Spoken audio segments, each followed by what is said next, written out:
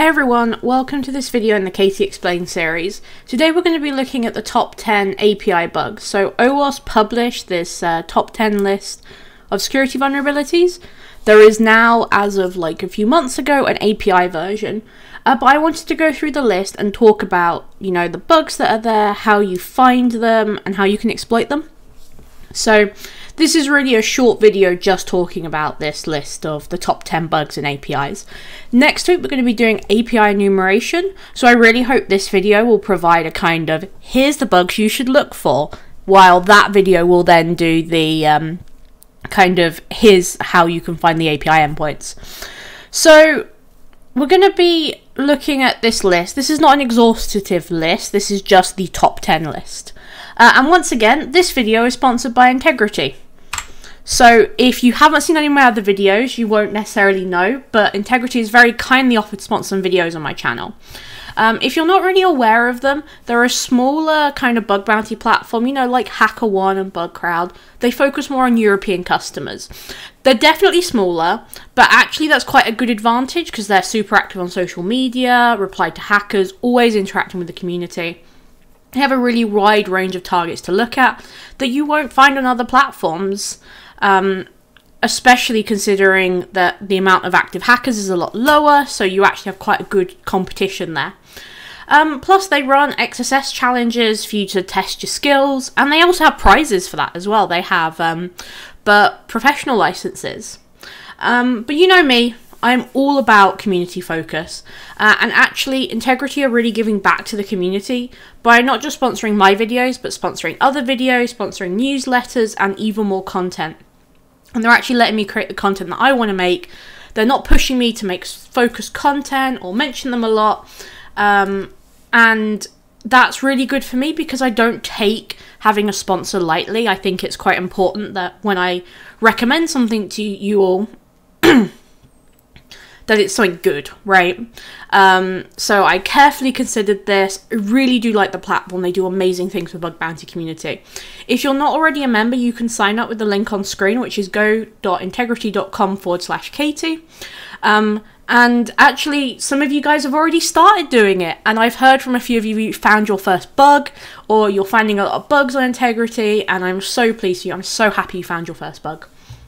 Um, please do tell me if you do find your first bug on Intigriti or any platform. I really do want to celebrate when you folks find stuff. But for the people that found stuff Intigriti, I'm so happy for you. I'm so glad. It's great. Um, and having this sponsorship really lets me invest more into the channel. So please do give them some love, sign up. You know, maybe you'll find your first bug too. So I'm promoting them because I think you provide something great, and you can sign up with go.intigriti.com forward slash Katie. So now we're out of the way, let's talk about API hacking, which is one of my favourite topics. I think APIs are one of the best sources for bugs now in 2020. Um, I really want you to check out this video first because before you watch this, you really need to know what an API is. You should have some idea of how they're used. Um, and if you really don't understand yet, you can check out this video in the Finding Your First Bug series that goes all over the basics. But APIs are bloody fantastic at the moment for getting bugs. So, what bugs are there? So I spoke a little bit about this in this video. This is much more in depth. So, oh, whoops. So what is the API security top 10? So this is a API security project in OWASP. Um, and they OWASP, if you don't already know, it's a community project for security professionals. They publish top 10 security vulnerabilities, and then within this, this is like a sub community which created the AI security project, which then publishes the top 10 bugs of only APIs. So let's have a look at them. Oh god, they're written in legalese. Uh, yes, I understand some of these words. So we have broken object level authorization, broken user authentication, blah, blah, blah, blah, blah. It's really, really corporate. It's very much for the blue team, the other side, the people securing the apps, not necessarily for us. But you know what? This list is really good for bug bounty hunters. It's in the language of the defenders. And you know, some of these might not be a security risk in terms of how we would see like a bug, especially because we've got stuff in there talking about um, security misconfiguration, which may not actually be an issue a lot of the time, or insufficient logging, which is again a really low impact issue, which you wouldn't usually have a bug bounty for. Um, and you know what? Let's talk about what these bugs are, but in our language, and especially looking at how we can find and test for these bugs. So, uh, let's go through them. This is every bug in the OWASP API top 10 explained for bug bounty hunters, not for blue team security people. So API 1 2019 broken object level authorization. APIs tend to expose endpoints that handle object identifiers, creating a wide attack surface. Level access control issue. Object level authorization check should be considered in every function that accesses a data source using an input from the user. What? So, let's go through this. What does it mean? It's actually just talking about an IDOR, Insecure Direct Object Reference. So, if you're not really aware of what an IDOR is, I have an entire video on them, but it's basically when you can access somebody else's data by just changing an ID. So, let's say you're a user and you can change your own email address because you're that user. But if you just change like a user ID parameter to a different user ID, you can change somebody else's email address, for example. Um, it's really that the API isn't checking that you own a resource before you do something to it. So what should you really be keeping an eye out to find this bug? The first is any kind of ID, you know, numeric, UUIDs, anything that looks suspiciously like an ID. Um, and these are particularly common in RESTful APIs. So RESTful APIs are these APIs that tend to follow this kind of structure. Um, once again, API video goes over that completely. IDOR video for more information on IDORs. But okay, how do you find that ID? Uh, that bug, sorry. When you see an endpoint with an ID, you want to remove all of the cookies and see if the endpoint still works. Now, the point of that is just to very quickly kind of do a, a litmus test, if you like where removing the cookies is something really easy to do in something like Burp, where you can just send the request and you don't need to mess around with having multiple accounts. If it doesn't work, you then need to start playing around multiple accounts and seeing if um, you can replace user A's cookies with user B's cookies and see if you could still do something to user A's account. Um, again, IDOR video goes over it in much more detail. So API 2, broken user authentication. Authentication mechanisms are often implemented incorrectly, allowing attackers to compromise authentication tokens or exploit implementation flaws to assume other users' identities temporarily or permanently. Well, that is quite a sentence. Compromising system's ability to identify the client slash user compromise API security overall. So, what on earth does that mean? Well, it means an API should have some form of authentication, but it doesn't, or its authentication is weak in some way that you can generate authentication tokens for other users, for example. Um, or it's about API keys not being secure. When they say um, assume the role, let me just get my little uh, laser pointer. When it says um, assume other users' identities temporarily, what it's basically saying is that you can log in as somebody. Um, so what are the signs of this bug? Well, if you want to find API keys for internal APIs, Google Dorking is great, getting into GitHub is great.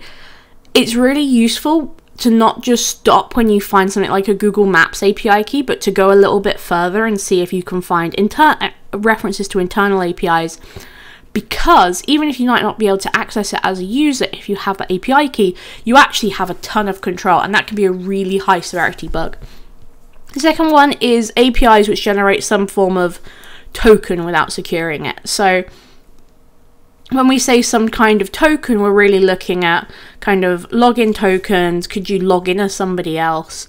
Um, it's really important when you're testing to test a login functionality because you'd think that'd be the first thing people would secure. But often you can find like really easy bugs to just log in as somebody else. Um, so how do you find it? Google Dorking to find API keys. There's a really great talk um, about Recon that I'll link below that covers how to do Google Dorking. Um, I've also going to have some videos coming out, but later in the future. Uh, the second one is Recon to find internal APIs, which might take certain keys. Um, this is great to test internal APIs and find even more bugs, especially because if you think about it, if you're a developer and you've got an external API, that's the one you secure. If you've got something internal, you're like, yeah, no one's ever going to find this, it's fine. Again, test login systems, especially for password reset, token generation. Those, if you use like a mobile app where you're almost always interacting with an API, they can be really insecure. So definitely worth checking them out. So API 3, 2019, excessive data exposure. Um, looking forward to, to generic implementations, developers tend to expose, expose all object properties without consideration of the individual sensitivity, relying on clients to perform the data filtering before displaying it to the user. Um, so we know a lot about excessive data exposure, really. Like we call it information disclosure, and it's really when an API returns too much info that it really doesn't need to. So you might have an API that returns um, personal information.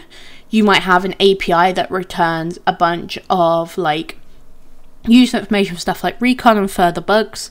Um, you might have something that you can uh, manipulate in some way to get uh, more information out. Let's say you know someone's name, you can get their address, for example. So it's not just, hey, this endpoint returns all the users' names, it's then going that extra step and going, what does that allow me to do? So, what are really the signs of this bug? You should always be keeping an, an eye out for endpoints that return a ton of stuff. As soon as you see like your burp window full of JSON, you should be staring at it to figure out what's it's actually returning. Now, it's not necessarily a bug when you just get a bunch of information back because it can be kind of benign information. But you really have to make a kind of decision here of, you know, is this confidential? Should this be secure? Um, is it something that I would want secure if I was a developer? If you click one button and one piece of data comes up, but actually the API is returning like a thousand lines, that is nearly always a kind of information disclosure.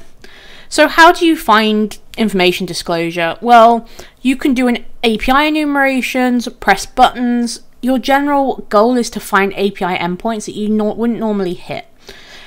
Now, the reason why you wouldn't normally hit them is really just because they tend to be more secure if people know about them. But being sitting there and just, you know, if people are dealing with a forum, they're going create post, edit post, delete post. They're not necessarily going, okay, can I change? Um, what about user details, right? What about the reporting functionality? It's really going that kind of extra step. Um, and really, you have to make a judgment call when it comes to uh, information disclosure, excessive data exposure. You have to decide whether or not the information that's being returned is a risk. Fundamentally, that's kind of your call um, and I know it's quite a difficult call to make. So I have a video on my original API video that goes into more detail about data exposure um, and what you can kind of do about it. So API 4 2019 lack of resources and rate limiting. This has got the wrong description on it, but it's rate limiting. It's fine. Um, so what does it mean? What is rate limiting? It means you can DOS an API because it doesn't limit the amount of requests you can do. So a lot of the time you'll be limited to do five requests a day or 10 requests a day because if you overload a server with requests, you can really start one to cause issues like in um, stopping service for other people, but also, especially if you're dealing with something that's like internal that um, maybe gets deployed um, you could probably, as a malicious actor, be able to take something completely off the network. And actually, kind of more interestingly, you can brute force information from an API. If you've got a logon functionality and you don't know someone's password, if there's rate limiting, if there's no rate limiting on it, you can just keep hitting that with like every single password, maybe from the top password list, and go again and again and again and again and again, and hopefully you find something. Um, so what are these kind of signs of this bug? It can be really difficult to spot. Like it is not something that you will necessarily be able to see. Um, usually you spot it when you're kind of doing a recon activity because during recon you send a ton of requests. Um, but even if it doesn't have if it doesn't have rate limiting, you're still sitting there to try and figure out like okay, this doesn't have rate limiting, but is that actually a risk? And what you can do with the lack of rate limiting. So if you kind of don't if if that works, that's usually a sign. Um, and really, you want to use this to find another bug, like use it another attack. So if an API requires an ID, lack of rate limiting will allow you to just keep testing an endpoint until one works. Especially if you're dealing with UUIDs, often people will say, "Oh, there's no security risk because it's difficult. Like you wouldn't be able to carry on, like guess the next one." But actually, if there's lack of rate limiting, you can just keep brute forcing them until you find something. So it can quite often be used to kind of escalate a bug to be that little bit better. Um, so API 5 2019, broken function level authorization. Complex access control policies with different hierarchies, groups, and roles, and an unclear separation between administrative and regular functions tend to lead to authorization flaws. By exploiting these issues, attackers gain access to other users' resources and administrator functions. Uh, this is a permission IDOR. Uh, it's when you have a user and an admin and you don't check the user's um, uh, level, whether or not they're a admin or a user when you do an admin function. So I talk really at in depth about these on my IDOR video again, but essentially you want to look for any kind of complex permissions. So anytime you have, say, a use an admin and a user and a guest, those are great for testing these. Um, any kind of IDs. IDs are always like keep an eye out for them. So how do you find it? Um, I recommend using containers in Firefox. See that video. We're getting to a point in my videos now where I'm now citing my other videos as sources. But you can use that to log into multiple accounts at the same time and get everything sent to uh, Burp. So create an admin account, create a user account, have them logged in, and then for every admin action you do, repeat it with the other user account, the kind of lower user account. So Again, if you're dealing with a forum and you've got posts, an admin should be able to delete posts, a user shouldn't. Um, and there's tools like Autorize which can do this automatically as you click the buttons. There's a really great video, which I'll link below, uh, from STÖK, which goes into way more detail about how to use that tool and how you can use it specifically to find these bugs. Okay, API 6, uh, 2019, mass assignment. Now, this is something I have actually not really talked about before, but will be in my video next week. Binding client provided data, e.g., JSON, to data models without proper properties filtering based on a whitelist usually leads to mass assignment, either guessing object properties or exploring other API endpoints, reading the documentation, or providing additional object properties in request payloads allows attackers to modify object properties they are not supposed to. So, what exactly does that mean? So let's say we're dealing with an API endpoint which changes your username. It probably shouldn't be able to also change your password, right? It should only have this one functionality. But actually, if you add password and email and whatever else in there, it will also change that property. Now, this tends to be when um, APIs are built on frameworks. So if you can find kind of built by, whatever, built with, um, you tend to find this more often. Uh, but I'm going to actually show this in using kind of API for my API recon video in much more detail. So really do keep an eye out for that. Um, but essentially, what you want to do is try different parameters and see if they work. You want to make sure they make sense for that endpoint though. Um, so there's some tools you can use to do that. And this is a pure recon bug.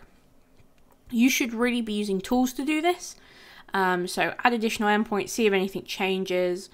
Like if you're dealing with a changed username, see if you can change other users, like the user's other properties, email, password, um, whatever. You should be, you might be able to bypass checks like confirm password, which is a really big deal when you combine it with something like XSS because that's an account takeover, right?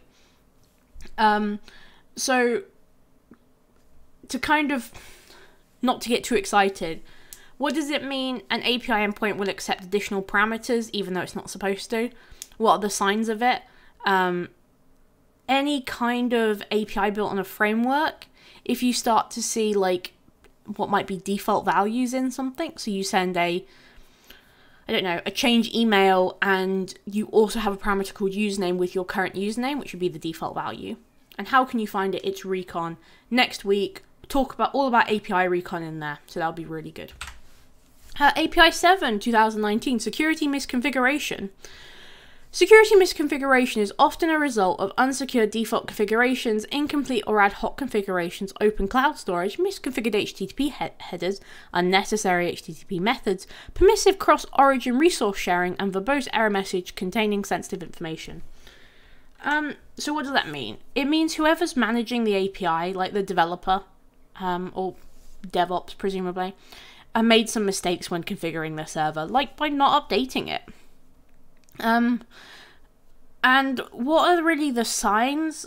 It's a lot of different bugs in here. It's not just one bug, it's actually a ton of different ones. Any kind of security misconfiguration is going to be more common with a smaller team because they don't necessarily have the expertise to be handling like big APIs with a lot of like complex technical difficulties. Um, so check for smaller teams, check for those private programs, etc. So how can you find it? Um, the first step is to learn the common misconfiguration bugs and how to exploit them. I've put some in the description for some examples of um, some nice ones. CORS and CSRF is a nice attack because that by essentially makes CSRF quite a nice attack even though it's disabled on some browsers at the moment because you can get data back from CSRF. Usually you can only send it and hope the server does something with it. But with CORS, you can actually get that data back, and there are some really cool bypasses of the same origin policy. There's like some really good write ups. So I'll put those in the description so you can have a read of those. Uh, but fundamentally, this is a bunch of different bugs. So if you want to find these bugs, you're going to have to learn them. I'm sorry. Can't get out of it. Um, API 8 2019 injection. So injection flaws such as SQL, no SQL, command injection, etc occur when untrusted data is sent to a interpreter as part of a command or query. The attacker's malicious data can trick the interpreter into executing unintended commands or accessing data without proper authorization. So what does it mean? Uh, it's SQL injection. It's our standard kind of um, injection. You know, it's not just SQL injection. It's other like no SQL injection, for example and there's no SQL map and SQL injection. There's SQL maps, a bunch of different um, types of injection um, vulnerabilities. Um, so basically, you use the API to run these payloads, and the reason why you might find them more in APIs than in kind of text boxes is because APIs often don't have the same level of filtering as something client side does, which is really what makes APIs great to hack at the moment because there's a lot of them, they power a ton of stuff, and there's actually not a lot of filtering. You can even get XSSs via uh, uh, uh, via APIs at the moment because the API doesn't filter the data, but a text box does. Um, so the common signs of an injection bug is really on more common on internal, not for public use APIs, uh, where bugs just might have been left in quite a lot of the time. You find it in older applications, but actually they're kind of making a resurgence a little bit. IoT devices can be great for it. Um, anything where they don't expect a user to be able to interact with it tend to be great places for SQL injection um, or any other type of injection. So decide on the type of injection first to find it. So there's SQL injection, no SQL injection, um, and depending on what database they use. So SQL injection works on uh, like my MS SQL uh, and MySQL and PostgreSQL. Um, and they're kind of the more traditional database, but NoSQL is these ideas of blobs and stuff like that. Um, so instead of the kind of tables and rows, they kind of have these general ideas of data that's stored. Um, but they work a little bit differently, so the injection is a little bit different. GraphQL has injections as well. So you can actually find quite a few different injection payloads on payload all the things. They won't necessarily work first time, you might need to edit them, but that's a great place to start. So API 9, improper assets management. APIs tend to expose more endpoints than the traditional web applications, making proper and updated documentation highly important. Proper host and deployed API versions inventory also play an important role to mitigate issues such as deprecated API versions and exposed debug endpoints. Um, whoops. So, what does it mean? Even though version 1 of the API is still broken and full of bugs, it's still up and connected to the same data source. Um, they don't, deprecated APIs should be off limits, but actually often they're just left up. Um, if you ever see an API that has a version number in it, always change it. Like, always go further down, see how many API versions there actually are. The endpoints might be slightly different with older APIs, but you can use a lot of tools to figure out what those endpoints might have been. Uh, the Wayback Machine is great for that. So, how can you find it? Again, it's recon, it's a little bit of recon. Once you do find this like broken endpoint, you should be checking for all of the other bugs injection, IDORs, excessive data, all of them. Bonus points if you find a disclosed report that still uh, works because the API has been left up despite it being fixed, uh, which would then bypass their fix and, and you'd have another one. Um, so, finally, and this really doesn't apply to us, is insufficient logging and monitoring. Insufficient logging and monitoring, coupled with missing or ineffective integration with an incident response, allows attacker to further attack systems and maintain persistence. Pivot to more systems, tamper with, extract, or destroy data. Most breach studies demonstrate the time to detect breach is over 200 days, typically detected by external parties rather than internal processes or monitoring. Um, it means that the defending team don't know what is being exploited and how. Um, if they don't have the logs, it can be really hard to detect the bad guys, let alone stop the bad hackers. This isn't really a bug bounty bug. It's way more of an issue on the other side. Um, one side might be utter confusion when you send in a report because they had no idea that API existed. There have been prizes at live hacking events, which is basically, huh, I didn't know we owned that uh, where you get extra money for finding something that they didn't even know they had control over, but somebody did.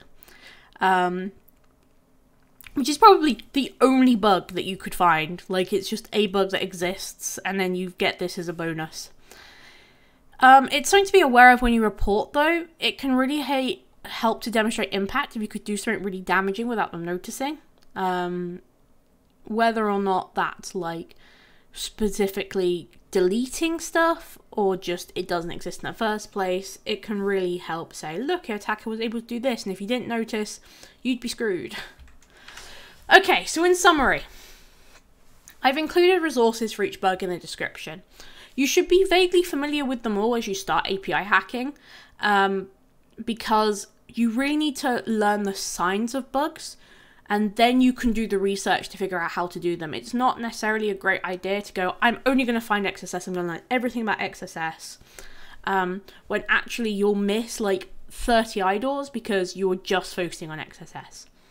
Um, so, recommendations if you want to start bug hunting this weekend, if you're a beginner, IDOR, information exposure, improper asset management, really great three bugs, learn the signs, find them, exploit them. If you're into recon, mass assignment, information exposure, improper asset management are great ones for you. For a beginner, don't really bother looking at injection because it's quite rare, and when you do find it, it has to be quite specialized. Maybe just run a payload just to check. Uh, and insufficient logging because it's not really a bug. If you want to learn more about um, the API security project via OWASP, uh, there are some resources here. Again, linked below um, that go into more detail than this video has. So thank you very much for watching. Um, I know this is kind of not the video everyone wanted. Everyone wants the enumeration video. That's coming next week. Um, we're going to go really deep into API enumeration, how to do it. We're going to have loads of practical examples. And I really hope that you watch this video, maybe have a go. Then next week, when you have the API enumeration video, you can enumerate your API, find these bugs, you know the signs, you know how to hack it, you know have the resources. Maybe the API video just to kind of refresh yourself, and then that's it. First bug next weekend. So once again, this video was sponsored by Intigriti.